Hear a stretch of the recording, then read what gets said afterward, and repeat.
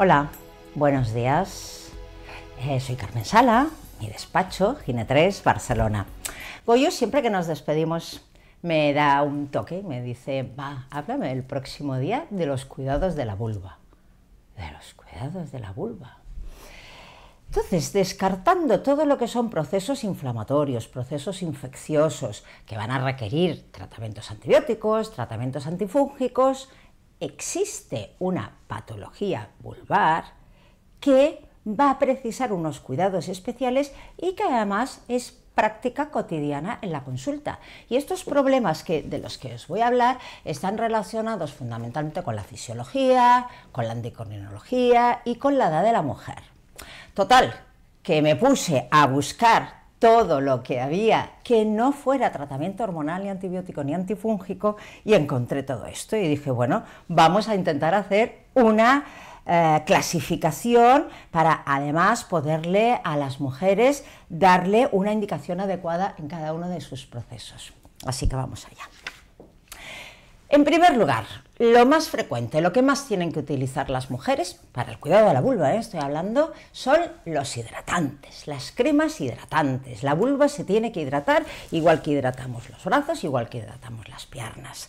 ¿Y a quién va dirigido? En principio a todas las mujeres, pero ¿a quién más? Pues a las mujeres deportistas que llevan maillots, que corren, que sudan, a las mujeres embarazadas, necesitan un cuidado especial y sobre todo a un conjunto importante de mujeres que hoy existen que se niegan a utilizar tratamientos hormonales en la menopausia solicitándonos solo cremas hidratantes. Y entre todos estos productos, ¿qué selección he hecho? ¿Cuál me ha gustado más de producto hidratante? Pues el ácido hialurónico. Los productos que lleven ácidos hialurónico, para mí, es el mejor hidratante.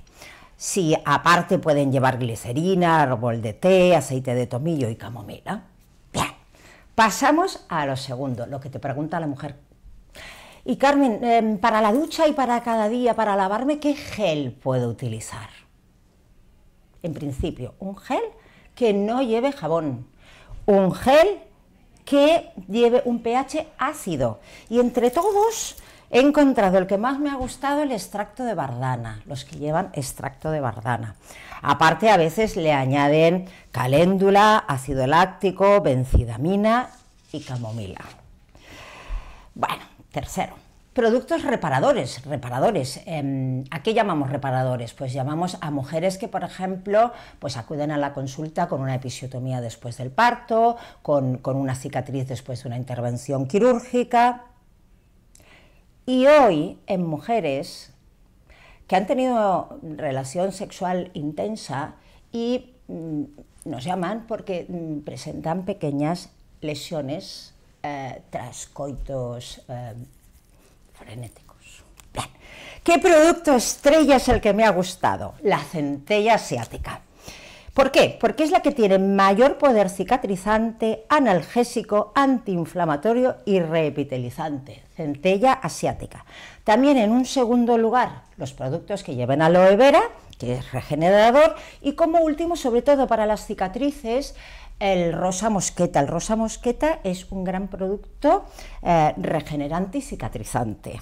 Venga, vamos más. Probióticos, eh, todo el mundo sabe que después de tomar largas tomas de antibióticos o cuando bajan las defensas o mujeres inmunodeprimidas necesitan repoblar la flora bacteriana y necesitan unos productos que llamamos probióticos.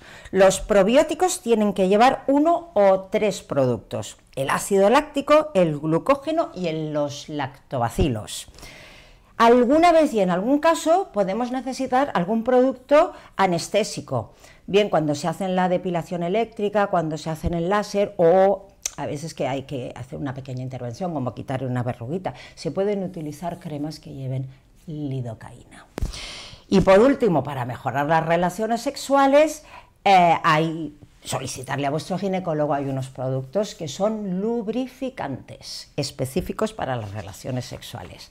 Bueno, como habéis podido ver, hemos sacado mucho partido a los cuidados especiales de la vulva, pero si me permitís, aparte de los cuidados de la vulva, es muy importante no dañarla. Entonces vamos a evitar, y os voy a leer estas agresiones. No utilizar jabones cuidado con los rasurados de las maquinillas, eh, el uso muy continuado de preservativos, eh, el uso de compresas, el uso de cosméticos, la ropa ajustada, los tejidos sintéticos, la fricción en gente que va en bicicleta y gente que, eh, por ejemplo, va mucho a la piscina y la humedad continua. Bueno, creo que hemos podido desarrollar un buen tema, creo que Goyo estará contento y creo que a todas vosotras os he podido dar un poco una idea de qué producto y en qué momento necesitáis. Gracias.